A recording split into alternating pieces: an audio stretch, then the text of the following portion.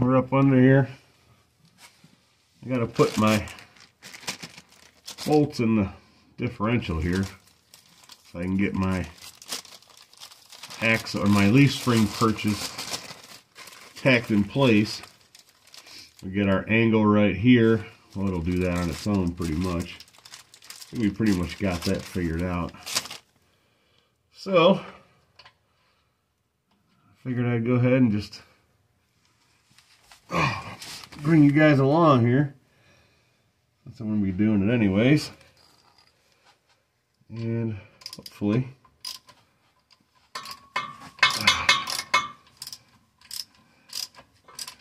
hopefully it don't take too long.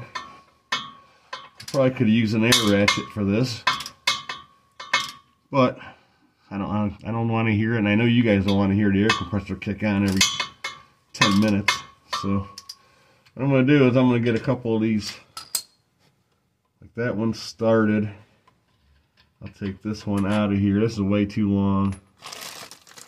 And we'll just I'll put them in there one at a time. So we'll go ahead and do that. And uh, I'll probably put you on the uh, fast forward. Just so you ain't got to sit here and watch me do this for 10 more minutes or whatever it's going to take. So,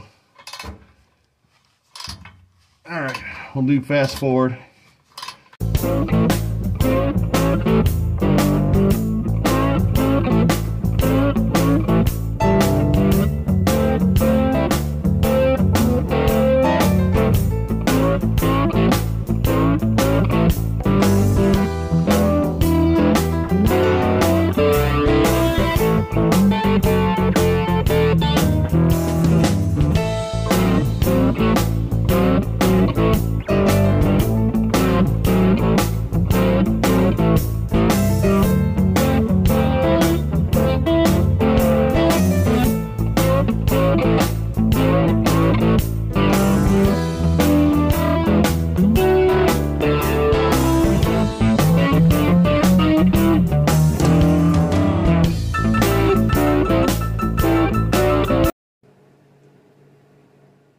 Guys, we're back. We got a drive shaft in there, bolted in anyway.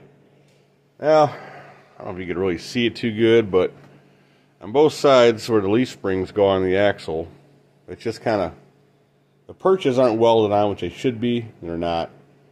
And everything's just kind of sitting in there. It's kind of tight, but it's not tight all the way. I got my angle, my pinion angle where I want it. I'm going to try to put up some tack welds on the uh, perches just so that way I can either take it, you know, unbolt everything and take it out to clean it up or try to, that way when I jack it up, because I do want to jack it up get the tires off, that way it can't move on me. So we're going to attempt to get in there and uh, try to make it actually be able to film this decent. It's kind of dark and not a whole lot I can do about that at the moment. So let me pause you. I'm going to get kind of situated a little bit better and then we'll uh, We'll be right back.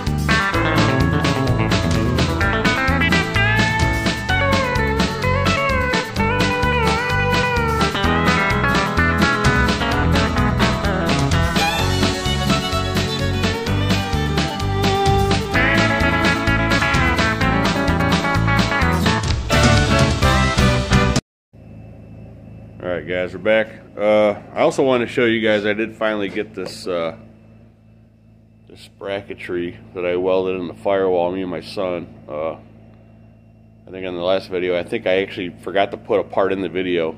Uh, my son came over and he helped me. He actually fabbed that piece up right there. Uh, we we used the the new plasma cutter. It worked great, and this is probably I think it's eighth inch or 3 16ths or something. I forget what size steel it was, but it was thicker. It wasn't sheet metal or anything. So the next video, hopefully, we doing putting that in, uh, putting the parts in for that. So of course this is power booster goes in there. And then like I showed you before on the back side, inside the car, we got this guy. It's gonna mount like this on the back side. And it's got the pedal right here. But I might have to cut this off about nine inches It's a little fit.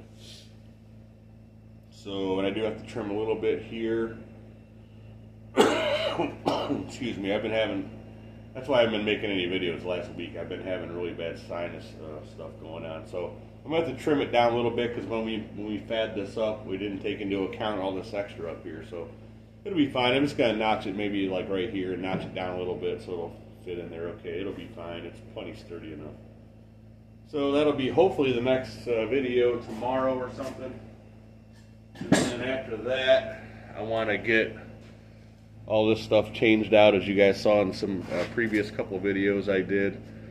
I got new intake carburetor, distributor, coil. So I want to go ahead and swap all that out.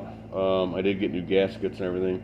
And I want to get new hardware for this because the bolts are old and rusty and painted over and stuff. I want. I think I'm just going to use maybe stainless bolts or something, or maybe just get some nice grade five looking, you know, because it intake's aluminum, so I want it to look nice. So that's about it um, for now, anyway. Uh, I'm going to talk to my son and see if he wants to give me a hand here the next weekend, maybe, or something. We can get that rear end out of there. maybe I'll order up some spring perches and we can maybe swap that stuff out maybe. I want like I said I want to get that rear end out of there anyway. Uh, get all the brakes apart and I want to take the rear cover off and I want to clean out because I don't know what condition the oil's in if there's I'm sure there's oil in it but I don't know what condition it's in. So I want to clean that out real good put some new oil and stuff in that new gasket or whatever new sealant on the cover the diff cover so and the rear end is pretty fairly crusty. You could use some cleaning up anyway. So that's about all I got.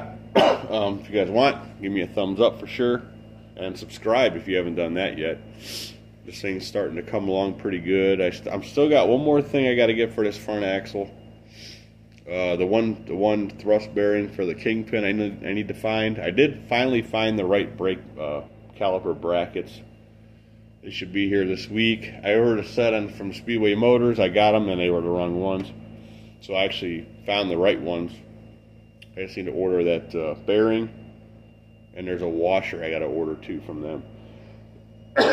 so, anyways, guys, thanks for watching. I appreciate it. We'll be doing a lot more videos on this thing. I'm, I was on vacation all last week, so I didn't really do a whole lot on this thing. I was trying to get some stuff prepping for winter outside. getting firewood cut up, just trying to get everything kind of done before it starts getting really cold out. Because you guys probably know I've mentioned it before. I heat with I heat the barn in here with with a wood stove, so I like to have a nice stack of wood for that. So, anyways, thanks for watching. Give me a thumbs up. We'll see you on the next video, guys. Have a good one.